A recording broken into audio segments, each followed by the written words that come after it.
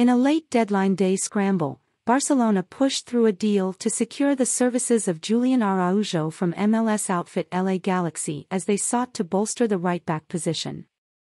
Barcelona had reached an agreement with LA Galaxy over a deal worth 4 million euros for Araujo.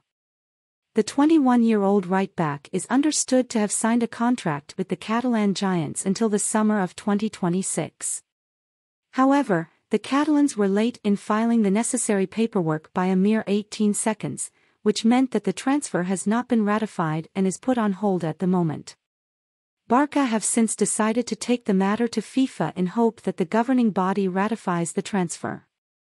In the meantime, Araujo, who is already considering himself a Barcelona player, has been training by himself until a resolution arrives.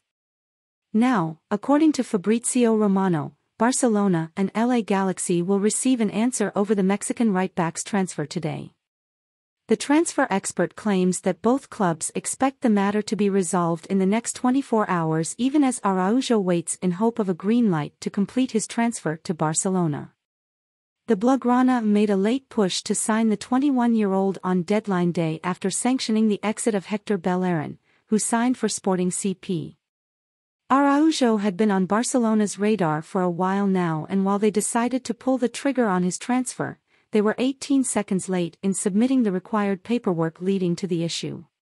With a decision from FIFA expected today, it will be interesting to see which way the governing body leans as Araujo, Barcelona, and LA Galaxy wait to learn the fate of the transfer.